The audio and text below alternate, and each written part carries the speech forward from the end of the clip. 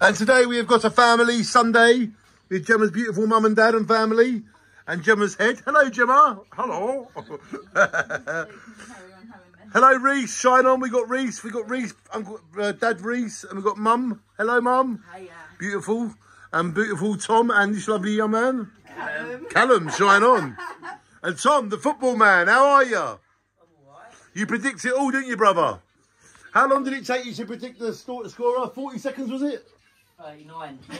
I reckon you're looking at a future commentator there, everybody. But this is about Aurora anyway. But we love you all. We're Aurora's family. Hello. And uh, hello, Mummy. How's Aurora today? Hello, gorgeous. Look at you. She's thinking, why did you disturb me? I was asleep. And there she is, Aurora. We adore her. And uh, Mummy, uh, Mummy's mummy, Nanny, brought these things because Aurora likes to shake her arms like this. So give her a demonstration. Here, look.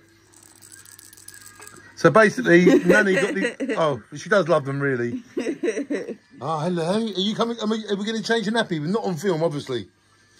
We don't do nothing personal on film. When she cries, we don't film it. When she has a nappy change, we don't film it. Personal things you will never ever see. We just show you what we want to show you. That is why they're updates. And we only show you what we want to show. Nothing personal, just the real deal. Okay? Because you wouldn't show your baby's personal things, would you? Exactly. Thank you. And, uh, oh, she's with Nanny. Hello, Nanny. so would you say she's like Mummy? Very much. Yes, you got the Nanny's perspective. Very, very much. You see a lot of your beautiful daughter in her? I certainly do, yeah. And so do I. And we see a lot of you as well. The genes are very strong. They have to be to hold my backside. And look at you, exactly. And look at that. You are with your nanny. She's thinking, I love nanny. She does, look. And that is a forever film on Aurora's 70 day update.